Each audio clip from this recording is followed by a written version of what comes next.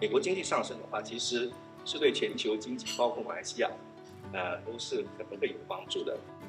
美国总统选举靠近之际，大马企业在经商时应该关注哪些局势变动？作为世华趋势论坛的主讲嘉宾之一，美本首席投资总监卢瑞斌就点出了其中的几个关键要素。特朗普其实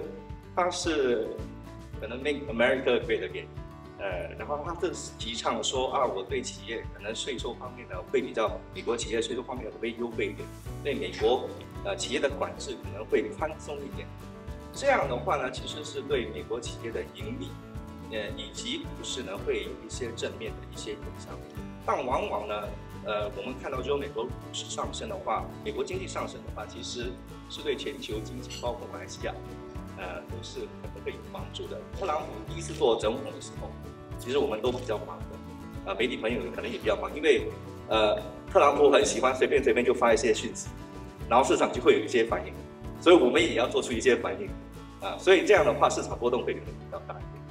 然后还有一点就是说，我要看就是说，其实呃，特朗普在对石油方面，他他是蛮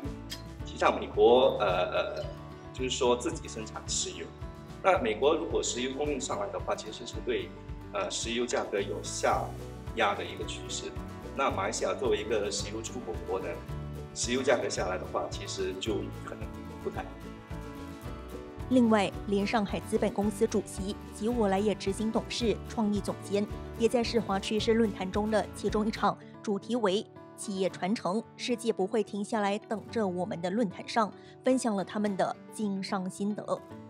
在管理上会有欲望跟很大的想法，可是，在过程中我发现，单单我们讲在讲很多创新啊、新的一些模式之类，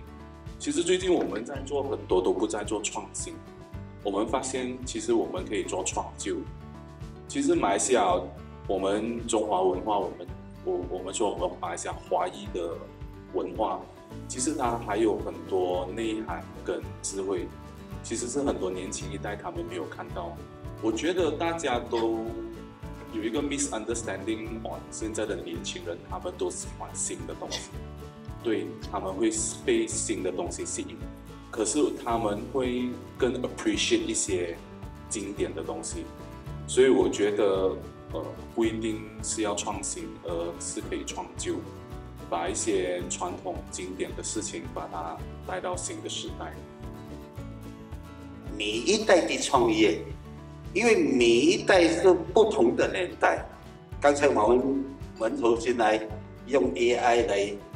接应你，以后我看火掉他们不用了呢，全部用罗本跟你讲话。这种东西是下一代的 CEO。如果我是这个一代 CEO，下一代 CEO 一定要